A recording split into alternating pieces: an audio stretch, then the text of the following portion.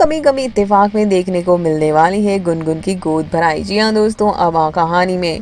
देखने को मिलने वाला है वो मोड जहाँ पर दर्शक हैप्पी एंडिंग शो की देखना चाहते थे। लेकिन अब कहानी में देखने को मिलने वाली है अब दूसरी नई कहानी। जी हाँ दोस्तों, देखने को मिलेगा सीज़न टू जहाँ पर अब अनुभव की और गुनगुन की नई ज़िंदगी की शुरुआत होगी और पूरा परिवार अब गुनगुन को बहु मान बैठा है।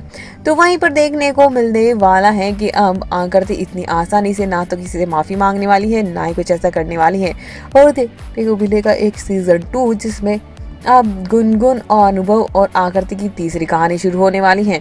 अब यहाँ पर गुनगुन की प्रेगनेंसी की खबर आएगी और यहाँ पर गोद भराई की जाएगी और गुनगुन घर वालों के लिए एक बहुत ही बड़ी खुशखबरी लेकर आई है। तो दूसरी तरफ़ देखने को मिलने वाला है कि आकृति फिर से लौट कर आएगी और गुनगुन से बदला लेने की कोशिश करेगी।